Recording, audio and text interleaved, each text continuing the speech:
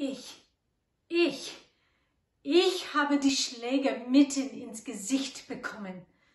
Ich habe sie mit meinem Körper aufgefangen, alle diese Schicksalsschläge. Ein Todesfall nach dem anderen. Diese lange Prozession zum Friedhof.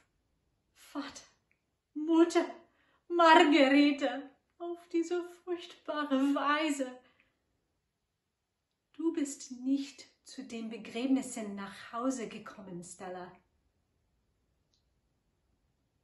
Aber Begräbnisse sind hübsch verglichen mit dem Sterben.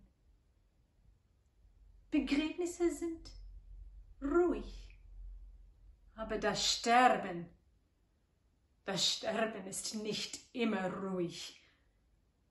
Manchmal keucht der Atem der Sterbenden heiser und manchmal rasselt er. Und manchmal schreien sie dir sogar ins Gesicht, lass mich nicht gehen. Sogar die alten Betteln manchmal, lass mich nicht gehen.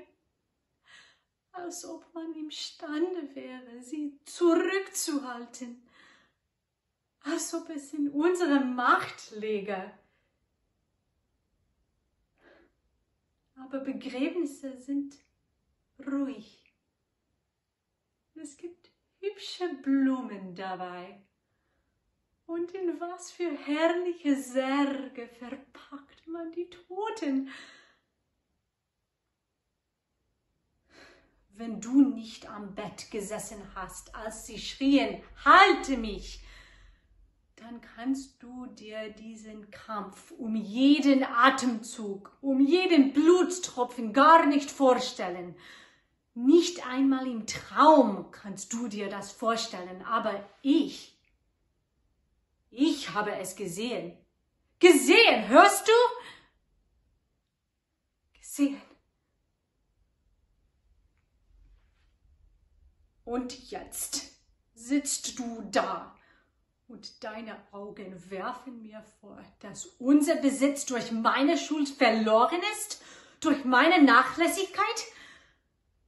Wie zum Teufel hast du dir denn vorgestellt, dass für alle diese Krankheiten dieses Sterben Geld aufgebracht wurde?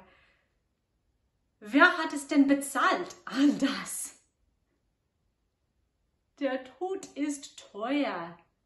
Er kostet Geld, Fräulein Stella. Die alte Cousine ist gleich nach der Margarete gestorben. Sie auch.